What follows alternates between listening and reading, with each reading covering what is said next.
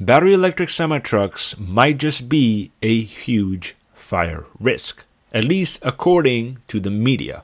You see, folks, just a few weeks ago, we heard news of Nikola being under the spotlight for having around five of its Class 8 BEVs go on fire at its Phoenix headquarters facility in Arizona. This led to alarming concerns around the safety and sustainability of battery electric trucks, particularly those made by Nikola. And well, I'm here to break it to you folks, but a lot of the concerns are very much unnecessary. On the early hours of June 23rd, we heard a tweet from Nikola stating a mysterious fire in the back of its Phoenix, Arizona headquarters. A few hours later, it was revealed that that fire occurred with four Tre battery electric trucks, with Nikola having suspected some foul play may be at play. And why would that be the case? Well, because Nikola found CCTV footage of the area at that time and found a mysterious vehicle at the back right around the time these trucks combusted. Now, at 4 a.m. in the morning, there are no real employees showing up to the headquarters, even though there might be employees showing up to the factory, which means there's significant concern about this having been a purposeful act. Now, obviously, an investigation on this is still being conducted, so it's difficult to make any sort of final conclusions as to what exactly happened. But as we all know, the media and Twitter communities are at full force trying to determine what could have happened here. And well, one of those accusations is that Nikola's batteries were faulty, resulting in a self ignition of the batteries and the trucks themselves. And well, from the footage I'm about to show you, chances of that happening are actually extremely low.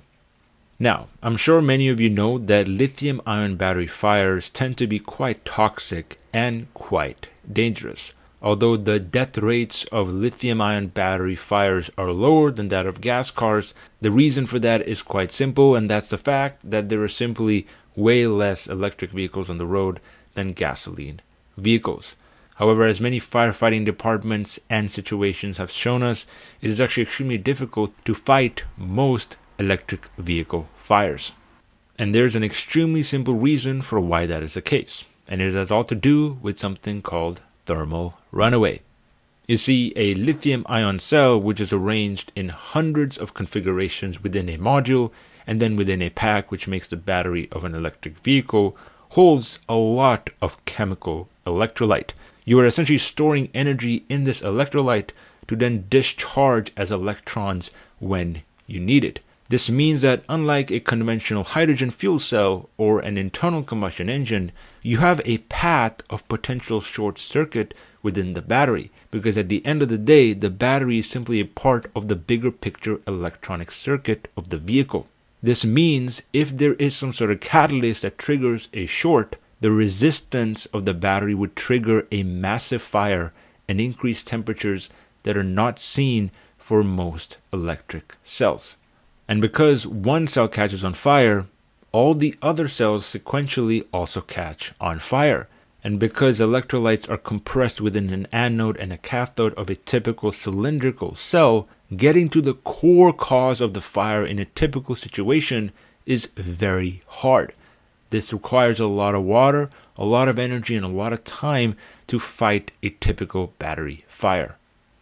This design also happens to be the reason why spontaneous combustion of electric vehicles is more popular than that of gasoline vehicles. Because an electric circuit is constantly on, unlike a typical combustion engine where you need a spark plug and an ignition for the engine to work, there are situations where sitting still, electric vehicles can still catch fire. And here with Nikola Motor situation, this is what many people are indicating towards. If there was supposedly a battery defect or some sort of external event, chances are these batteries could have exploded instantaneously and resulted in a combustion of the entire chassis. However, although the concerns are certainly valid for such a nascent technology, as I'm about to show you from this video and some of the analysis that I've done for Nikola's core technology, this is unlikely to be the root cause of this fire.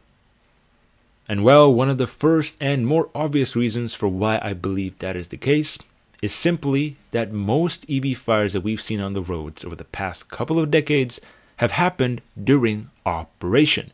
Whereas for Nikola's battery electric trucks, which were sitting in inventory and potentially sitting there still for multiple days, the fires occurred in a stationary state.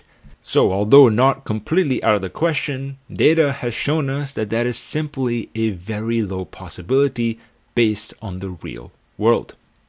And the second, probably even more obvious reason, is that the battery pack compartments of these trucks simply did not catch on fire based on the real life footage we have.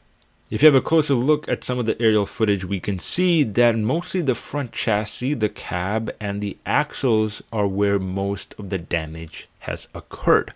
And as you can see, where the battery packs aligned 3 by 3 are situated, there has been little to no damage. As a matter of fact, you can see that these trucks are ignited on one side. And as you can see, despite the fire experienced by the chassis, the battery pack encasing itself has not been seized. This, in and of itself, is a pretty clear sign of how strong electric batteries have become today. And not only that, folks, but based on some CCTV footage of the real live fire, you can see most of it was contained in a small area and rose vertically with little to no black smoke.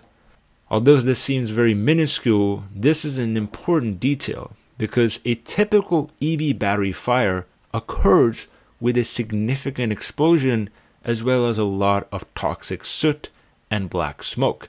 And not only does the fire last a lot longer, but it typically erupts in a vertical and horizontal manner, resulting in a self combustion of all components within the chassis. And as you can clearly see from this shot, none of the battery bank enclosures were seized during this fire. If this was actually caused by a short circuit or some sort of manufacturing defect, this area, as well as all the rear axles, will be the first to get engulfed in flames. All the tires would have popped, and the chassis itself would have melted with the inverter and the power electronics behind. However, in this case, most of the fire was actually isolated to the front cab, which obviously could be a very easy target for anybody that would have pulled up in this parking lot. All these factors combined to make me believe quite confidently that this fire was a result of foul play. Now, whether or not that was accidental foul play, we'll have to let the investigation answer that own question. But the reality is, somebody does not really want Nikola to succeed whether that be an investor or a short seller or an employee of the company who just got laid off to the 7% workforce reduction. Chances are there's a lot more yet to come about the situation, and certainly a lot more FUD that needs to be addressed. As usual, folks, let me know your thoughts on the situation down in the comment section below. Do you genuinely believe that battery electric trucks are a significant hurdle to the environment through fires? Or do you believe solutions exist like hydrogen fuel cells that can resolve these? Thank you very much for watching, folks, and I'll catch you guys in the next one. Take care.